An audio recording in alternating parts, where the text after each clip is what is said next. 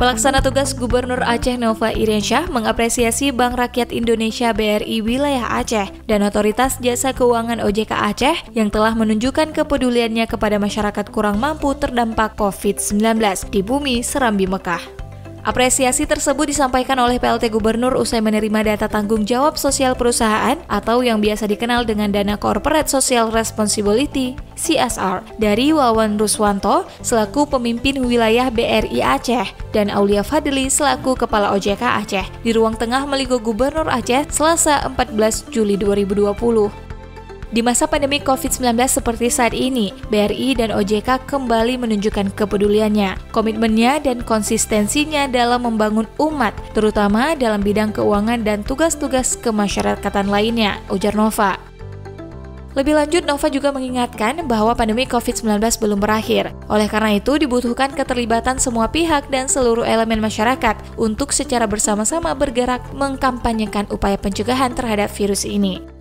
Oleh karena itu, sambung Nova, kita tentu patut bersyukur atas bangkitnya kepedulian terhadap upaya menanggulangi dampak dari pandemik ini. Namun, saat ini kita terus berkampanye tentang bagaimana harus menjalani kehidupan dalam suasana pandemik seperti saat ini. Usai menerima CSR dari Bank BRI, secara simbolis PLT Gubernur langsung menyerahkan bantuan tersebut kepada Gecik Gampung Garut, Aceh Besar, dan Gecik Gampung Lamcot, Aceh Besar. Secara keseluruhan, dana CSR dari BRI ini akan dibagikan kepada 22 gampong di seluruh Aceh. Dana CSR yang diserahkan oleh BRI dan OJK hari ini senilai 2,01 miliar rupiah.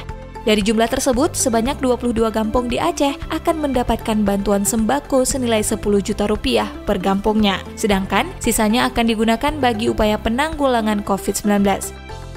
Ini tentu bagian dari upaya membangun kepedulian terhadap krisis bahwa saat ini COVID-19 masih menjadi pandemik. Terima kasih atas dukungan bagi pembangunan negeri yang kita cintai ini. Pungkas PLT Gubernur Aceh. Terkait dengan CSR, BRI itu sudah melaksanakan CSR beberapa kali di Provinsi Aceh ini. Sampai dengan hari ini kami sudah menyalurkan sekitar 2 miliar dan untuk selanjutnya kami bekerja sama dengan BRI Syariah untuk tetap menyalurkan CSR sesuai dengan kemampuan perusahaan. Demikian. Terima kasih. Assalamualaikum warahmatullahi wabarakatuh.